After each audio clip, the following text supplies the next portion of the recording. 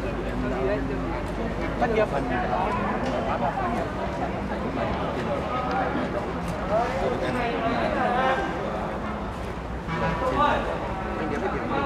cao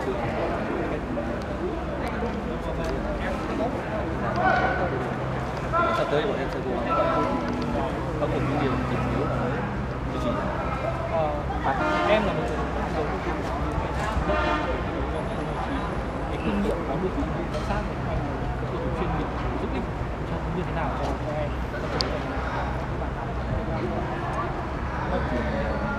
Em chỉ mới thi đấu được hai trận thôi.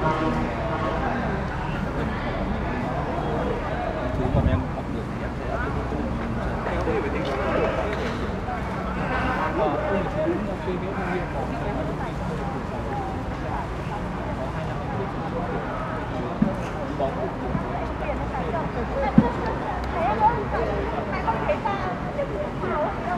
chắc chắn thì um,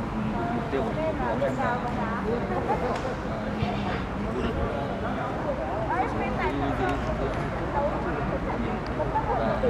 và đội đã đặt mục tiêu và quyết tâm rất cao. Phía trước sẽ là đội bóng rất là mạnh. Và bóng sẽ là một bóng đẹp nhau. Vậy thì với những gì đã thể hiện trong trận đấu em thì rút ra kinh nghiệm và bài học của đội bóng thể hiện kinh nghiệm. Và bài học thì đấy là ban huấn luyện các thầy giúp đỡ và cải thiện những điểm em nghĩ là không không nhiều.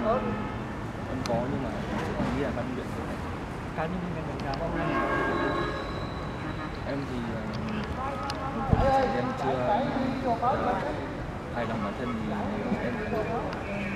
tập luyện thiếu môn em có đặt ra một cái mục tiêu gì trong việc tại giải đấu này mục tiêu của em là giúp toàn đội ừ, giành quân định là thi đấu tốt